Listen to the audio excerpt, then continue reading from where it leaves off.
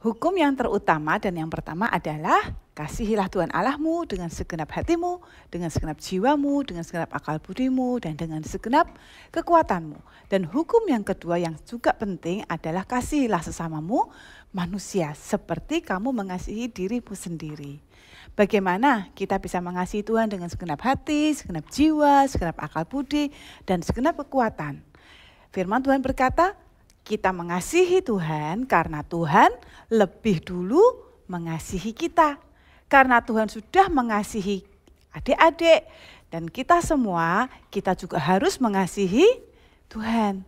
Di Alkitab ditulis ada dua nama yang dekat dengan hati Tuhan. Yang pertama namanya Yohanes. Yohanes itu murid yang dikasihi. Kalau duduk dekat Tuhan Yesus, Yohanes itu bersandar di dada Tuhan. Maria juga sama banyak nama Maria di Alkitab, tapi kita tahu ada juga Maria yang duduk dekat dengan kaki Tuhan. Kenapa mereka pengen dekat sama Tuhan? Karena mereka mengasihi Tuhan Yesus. Dan kasih mereka itu bukan hanya supaya dilihat orang. Kalian tahu waktu Tuhan Yesus disalib, semua orang lari meninggalkan Tuhan Yesus. Tidak ada yang mau ikut Tuhan Yesus karena mereka takut. Tapi Alkitab mencatat waktu Tuhan Yesus disalib, Yohanes yang mengasihi Tuhan Yesus ada di salib itu.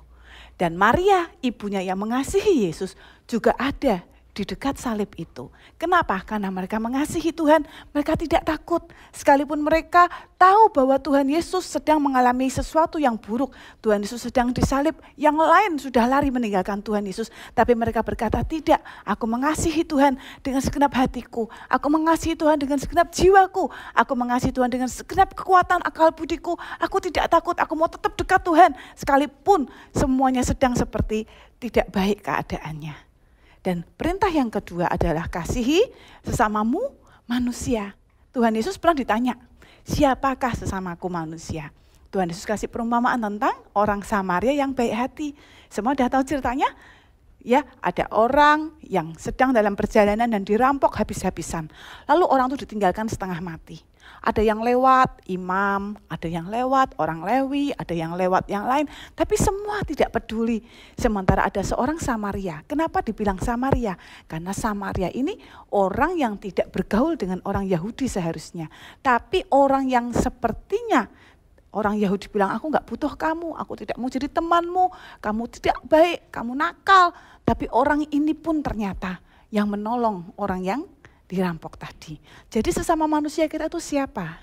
Kalau kita menunjukkan kebaikan, tidak memandang golongan, tidak memandang suku, tidak memandang ras, tidak memandang agama, tidak memandang apa pun karena semua Tuhan sayang. Dan kita harus berbuat kebaikan kepada sesama kita, semuanya kita juga harus berbuat kebaikan kepada mereka. Tidak boleh membeda-bedakan ini temanku, ini bukan temanku, semua sesama kita. Dan kita harus mengasihi mereka semua.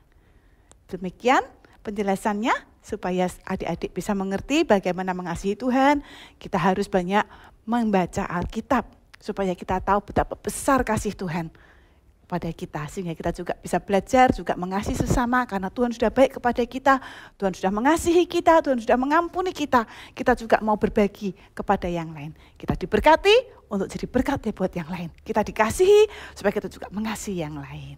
Tuhan Yesus memberkati.